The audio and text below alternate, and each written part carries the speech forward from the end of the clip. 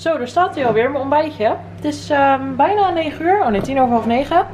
Ik ga deze lekker opeten. Jordi's haarmoutje staat ook in de magnetron. Staat helemaal in. Ja hoor. En daarna gaan we weer werken hier. Ja. En eh, jij moet ook naar school vandaag, heb ik net gehoord. Ja. Was je Nee. vergeten? Ik heb straf. Ik heb straf.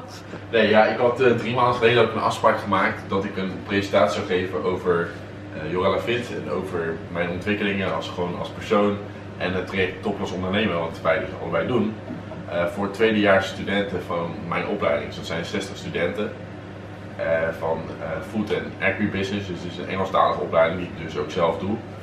Dus ik moet daar een uur gaan babbelen over wat ik allemaal heb gedaan in de afgelopen twee jaar. En of het interessant is voor mensen die in het tweede jaar zitten, of ze topklas willen volgen of moeten volgen of niet. Als ze zelf ondernemers zijn ingesteld en met een goed idee zitten, dan is het misschien verstandig om aan topklas te beginnen. Dus ik moet ze informeren over ja, wat ik zelf heb gedaan en wat mijn ervaring was. Maar dat kwam ik dus pas vanochtend te weten. Dus ik werk met een, eh, to- ik werk met een to-do-programma. En toen stond opeens gastles geven voor 60 studenten op de has, dus op mijn school, om twee uur. En toen dacht ik, oh, ja, zou het wel waar zijn? Dus ik ging mijn mail checken. Ja, ja, het was dus inderdaad zo. dat ik dus vanmiddag een presentatie moet geven. Maar goed, dat doen we gewoon. Komt Eh, allemaal goed. Vanochtend eh, ga ik even mijn presentatie voorbereiden. Ja. En dan komt het allemaal goed. Ik neem gewoon de camera mee, dus dat is ook wel weer leuk. ja, dat is leuk. Om dat te laten zien van ja, hoe is Jordi in het Engels en eh, hoe doet hij dat dan? Oh, Dus dat oh, oh. ja, dat zijn toch leuke dingen. weet Ja, je. zeker waar. Dus ehm, nee, goed, dat gaat helemaal goed komen. Oké, nu eerst lekker ontbijt. Even een goed ontbijt. Precies, goede bodem.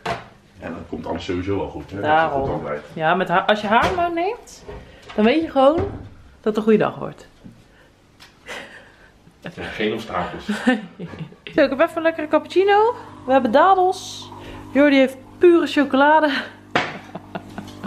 Want eh, ja, we zitten toch een beetje met dat vegan in ons hoofd.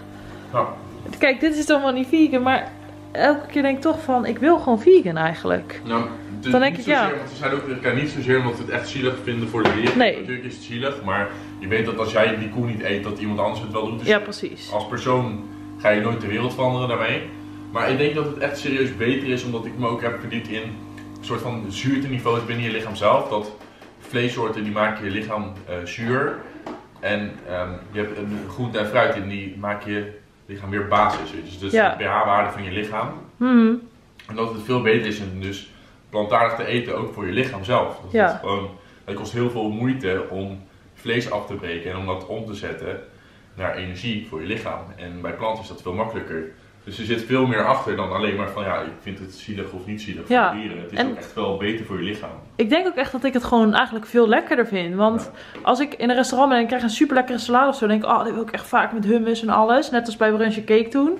Maar toch maak het thuis niet, het super easy is. Dus ja, ik wil dat echt gaan doen. Maar ja, Ik- je moet natuurlijk wel de tijd ervoor hebben ja dat om wel. te maken. Maar dat hebben we nu. Ja, dus geen excuses meer. Ik ga denk ik vanmiddag even mee boodschappen doen, want volgens mij moet er boodschap gehaald worden. Dan ga ik even goed inslaan. Ja, en dan gaan we vanmiddag het bericht Bonen plaatsen, en dus alles, ja. Om eh, mensen dus te vragen voor inspiratie, omdat we dus een guide gaan maken voor de community zelf. Om met ons samen in ieder geval twee weken vegan te eten. Ja, precies. Zodat mensen ook zelf een beetje kunnen bepalen van welke maaltijden in die guide komen. Ja, dat is leuk dat we met elkaar dit gaan doen. Even nog één dingetje. Eh, we kregen heel veel vragen over die documentaire van over vegan zijn, hoe dat heet. Wat Dus de held. Wat de held. Wat de held. Bij deze, wat de held. Hij is eh, volgens mij vorig jaar uitgekomen en is bekijk- te bekijken op Netflix. Top. Ja, en dat laat wel inzien, nou ja, wat ik dus net allemaal zei. Dat plantaardig eten veel meer kan betekenen voor je lichaam dan alleen maar de mindset van is zielig of niet zielig. Ja. Oké, nou wij gaan weer eh, snel aan de slag, want Jordi moet dadelijk naar school, dus eh, nog even strijden. Ja, lekker hoor. Let's go. Tussen het werken door hebben we ook weer een reepje verdiend. En ja, jij hebt ook wel honger hè? Ik heb gewoon alweer honger. Dat, Ja. is, dat is ook wel wel. Ja, daarom. De tijd vliegt als je het naar je zin hebt. Ja, zeker. Dus eh, jij hebt de lemon, Ja, zie ik vanaf daar. Ja. En ik heb hier heb ik de cranberry. Ja. Ik weet niet of die scherp, want hij zoomt nu in op jouw gezicht. Nee, dat, dat gaat hem dus niet, niet worden, want dan moet ik eerst de reep neerleggen. Nou, dit is dus... Dan gaan we, als hij dit wil doen, ja hoor. Cranberry. Nou, eet smakelijk, eh snel. Oké. Ik maak even een story. Jordi is inmiddels naar school en ik heb even wat foto's gemaakt hier op de bank. Want zoals je misschien weet post ik op mijn eigen Instagram elke dag. En dat betekent ja, dat ik bijna dagelijks foto's moet maken. Soms maak ik er een paar achter elkaar zodat ik een voorraadje heb.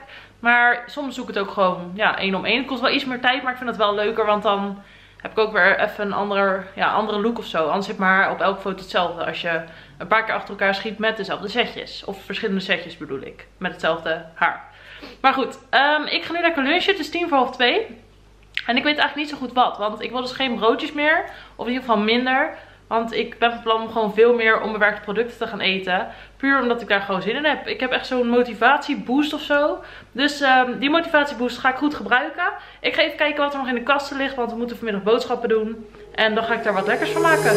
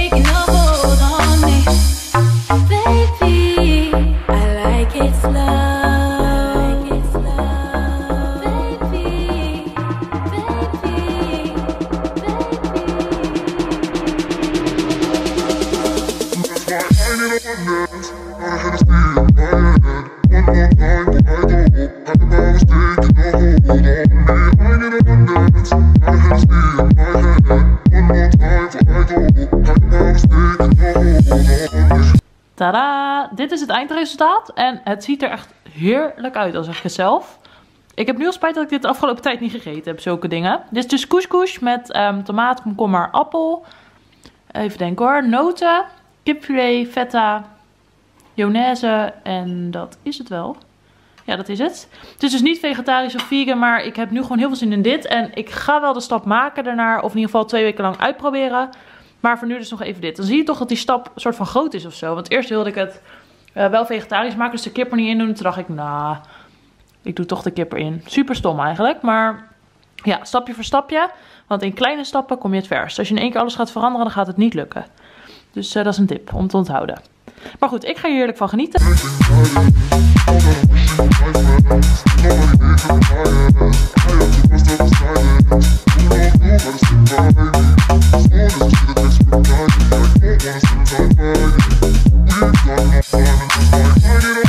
Zo, ik ben even in de Lidl, want zoals ik al zei, uh, moeten de boodschapjes aangevuld worden. Dus dat ga ik nu even doen. En ik ga proberen om zoveel mogelijk onbewerkte producten in de kar te gooien. Of neer te leggen. Want um, ja, daar heb ik zin in. Dus uh, dat gaan we doen.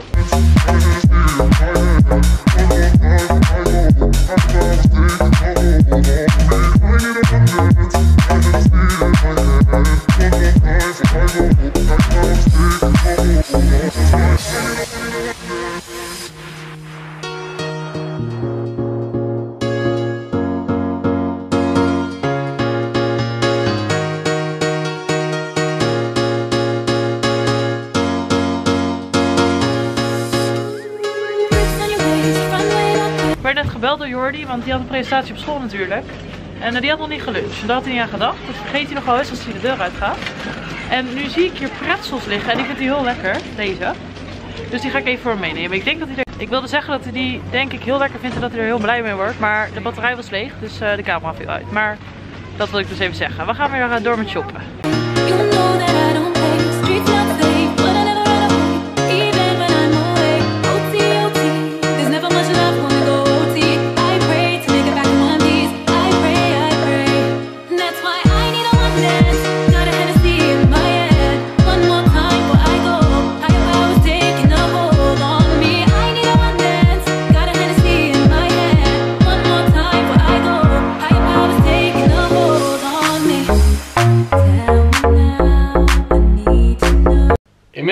Teruggekomen van de presentatie uit een bos. Uh, het ging heel erg goed.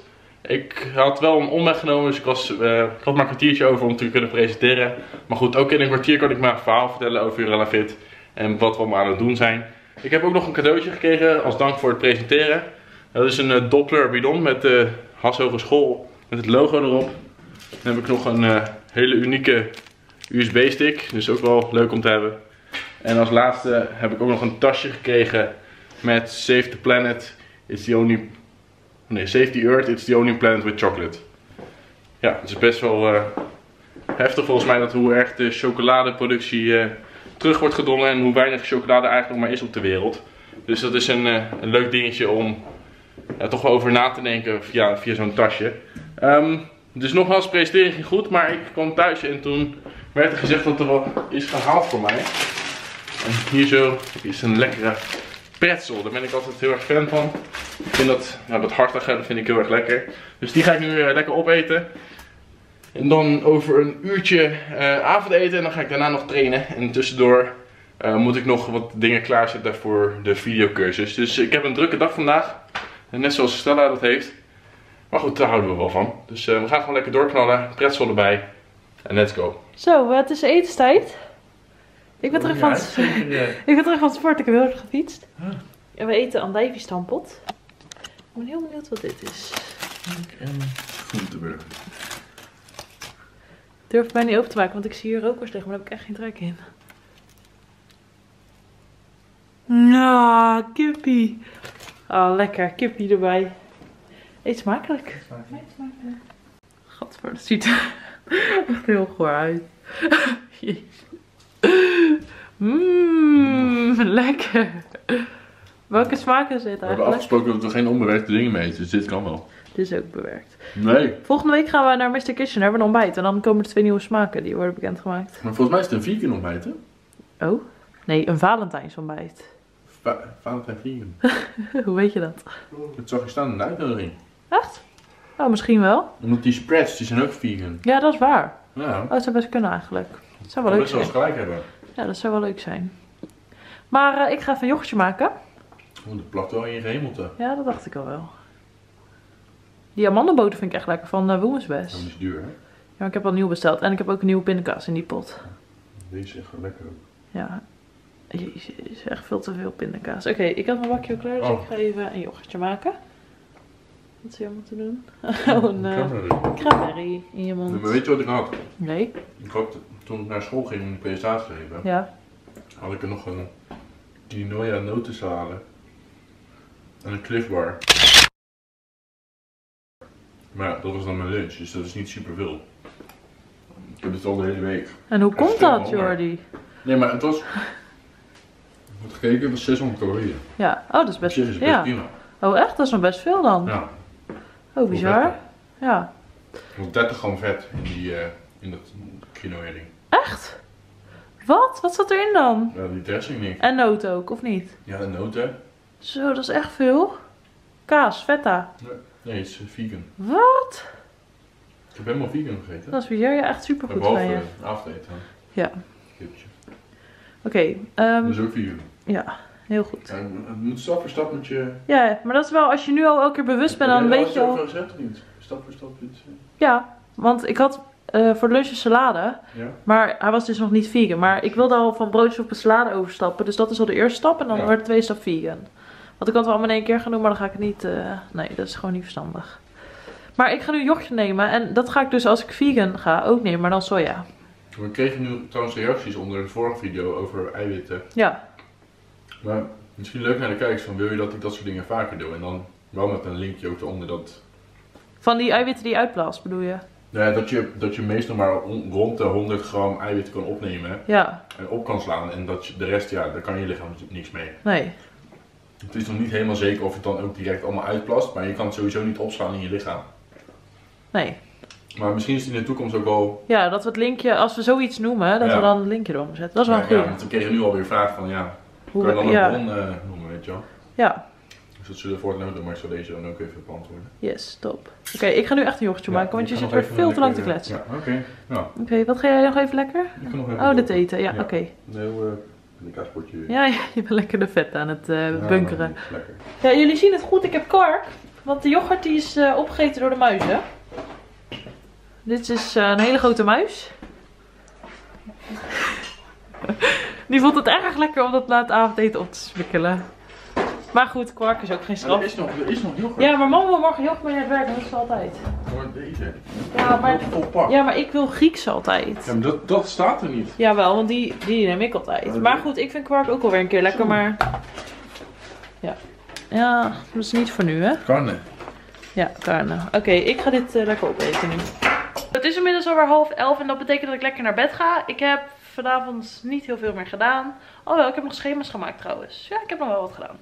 Ehm, ja, ik ga dus lekker slapen. Morgenochtend weer fris en fruitig op voor een aantal taken voor Jurella Fit. Iets voor school. En verder ga ik het wel zien. Ja, dat dus. In ieder geval bedankt voor het kijken vandaag. En ik zie je morgen weer.